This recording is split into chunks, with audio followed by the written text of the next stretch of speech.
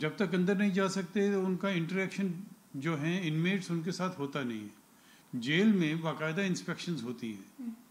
मगर यहाँ पे ऐसे इंस्टीट्यूशंस जो हैं, जहाँ पे बच्चों को रखा जाता है, यहाँ पे ज़्यादा आवश्यकता है कि इंस्पेक्शन रेगुलरली की जाए और उसका रिकॉर्ड मेंटेन किया जाए। मगर जैसे जेल में सुपरविजन होती है, अदालत की भी और सरकार की भी इन इंस्टीट्यूशंस के ऊपर भी उससे भी ज़्यादा चाहिए क्योंकि यहाँ पे बच्चे हैं। सर उसको एक्ट केस लाया कानून लाया गया और कहीं कि इस तरह की घटना लगातार काफ़ी सालों से चली आ रही है खास करके मुजफ्फरपुर और अब देवरिया इस ढंग का मामला आना क्या अब कानून में और कुछ कराई लाने की ज़रूरी है? आप कानून कानून अपने आप में काम नहीं करता है। कानून को तो किसी न किसी ने इम्प्लीमेंट करना है।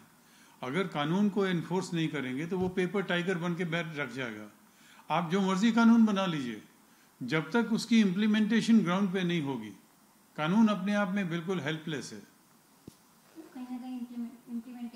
इम्प्लीमेंटेशन ज़ीरो है। कहीं ना कहीं इस घटना को अगर एनजीओ इसको चला रही होती है उसके बाद आपको क्या लगता है क्या एक लाइन में क्या इस पे कोई सुपरविजन नहीं है। सरकार की जिम्मेवारी है। सरकार को अपने अपना दोष कबूल करना पड़ेगा। क्यों इंस्पेक्शन नहीं हुई?